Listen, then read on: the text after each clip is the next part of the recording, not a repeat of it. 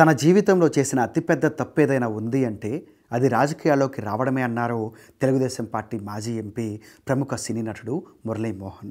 తనకు ఇష్టం లేదని చెప్పినా చంద్రబాబు కన్విన్స్ చేసి మరీ రాజకీయాల్లోకి తీసుకువచ్చారని ఆ పదేళ్ళ టైంలో నేను చాలా కోల్పోయానని రాజకీయాలంటే విరక్తి కలిగేలా చేశారంటూ మురళీమోహన్ గారు సంచలన కామెంట్స్ చేశారు. ఇటీవల ఆయన మాట్లాడుతూ గత పదేళ్ళు నేను రాజకీయాల్లో ఉండడం వల్ల జనం నన్ను పొలిటీషియన్గా మాత్రమే చూస్తున్నారు. అంతకుముందు చాలా ఏళ్ళు సినిమా నటుడిగా ఉన్నప్పటికీ టీడీపీ ఎంపీగా ఉండడం వల్ల ఈయన ఇక్కడ ఉండరు ఢిల్లీలో ఉంటారు అమరావతిలో ఉంటారంటూ నా దగ్గరికి ఎవరూ రావడం లేదు. నేను రాజకీయాలను వదిలేసి ఇక సినిమాలు మాత్రమే పనిచేస్తానని అన్నా కూడా నిర్మాతలు నా దగ్గరికి వచ్చే ప్రయత్నం చేయడం లేదు. నేను ఇంకా పాలిటిక్స్లోనే ఉన్నానని అందరూ అనుకుంటున్నారు. నేను నూటికి నూరు శాతం రాజకీయాలను వదిలేశానని పాలిటిక్స్ నుంచి బయటకు వచ్చేసానని చెప్పుకొచ్చాడు మురళీమోహన్ గారు. అంతేకాదు నాకు బ్రహ్మాండమైన ఇండస్ట్రీ ఉంది సినిమాలు ఉన్నాయి. హ్యాపీగా వీటిని చేసుకోకుండా జనంలో పడి పోటీ చేస్తే మన కష్టాన్ని గుర్తించి మెచ్చుకునే వాళ్ళు అక్కడ ఉండరు. విమర్శించే వాళ్ళే ఎక్కువగా ఉంటారు. ప్రతిపక్షంలో ఉన్నామంటే లేనిపోనివి మనపై వేసేస్తారు. అలాంటప్పుడు నా విలువైన సమయాన్ని నేను ఎందుకు వేస్ట్ చేయాలి అంటూ చెప్పుకొచ్చాడు. ఇప్పటికే రాజకీయాల్లో రావడం వల్ల పదేళ్ళ సమయాన్ని నేను వేస్ట్ చేసుకున్నాను. ఇప్పుడు నాకు ఎనభై ఏళ్ళు. మహా అయితే ఇంకో పదేళ్ళు నేను యాక్టివ్గా ఉంటాను. తర్వాత ఎలా ఉంటానో తెలియదు. నేను నా జీవితంలో చేసిన పెద్ద తప్పు ఏదైనా ఉంది అంటే అది పాలిటిక్స్లోకి రావడమే. ఈ రాజకీయాల్లోకి ఎందుకు వెళ్ళానని టీడీపీలో చేరి తప్పు చేశానని ఇప్పటికీ చాలాసార్లు నేను బాధపడ్డాను. నేను రాజకీయాలు చేసిన చాలా నీతిగా నిజాయితీగా చేశా. ఎక్కడా కూడా ఒక్క రూపాయి ఆశించలేదు. నా సొంత డబ్బుల్ని ఖర్చు చేశా. అయినప్పటికీ కూడా నన్ను విమర్శలు పాలు చేశారు. చివరికి నేను రాజకీయాలు వదిలేస్తున్నా అంటే కూడా విమర్శించారు.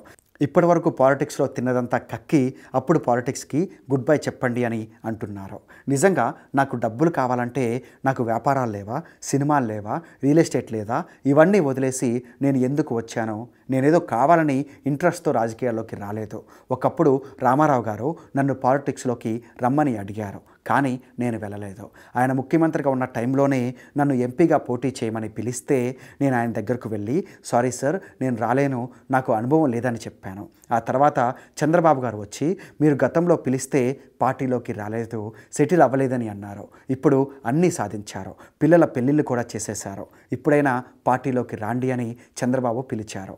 నేను అప్పుడు సారీ అండి నేను రాజకీయాల్లోకి రాలేనని చంద్రబాబుకి తెగేసి చెప్పా. కానీ ఆయన అందరూ అలా అంటే ఎలా? మీరు రియల్ ఎస్టేట్ చేస్తున్నారు నిర్మాతగా ఉన్నారు డిస్ట్రిబ్యూటర్గా ఉన్నారు పొలిటీషియన్గా ఎందుకు కాకూడదు? మీరు రాండి సార్ నేను చూసుకుంటానని చెప్పుకొచ్చారు. నేను వద్దని చెప్పినా నన్ను బాగా బలవంత పెట్టి చివరికి కన్విన్స్ చేశారు.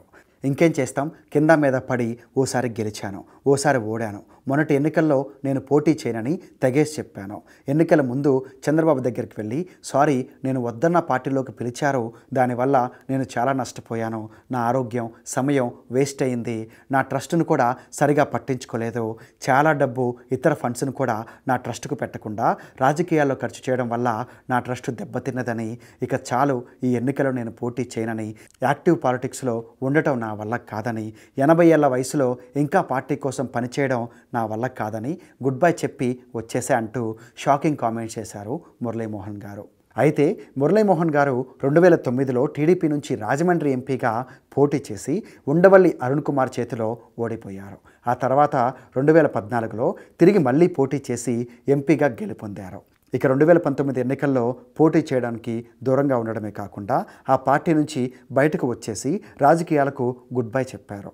అదండి సీనియర్ హీరో తెలుగు రాష్ట్రాల్లోనే బడాబాబుల్లో ఒకరైన మురళీమోహన్ గారి రియలైజేషన్. రాజకీయాలంటే అంత ఆషామాషి కాదని సినిమా వాళ్ళకి ఇది ఇంకొంచెం కష్టమైన పని అని పోసాని కృష్ణమురళి గారు చిరంజీవి గారు లాంటి వాళ్ళే కాదు.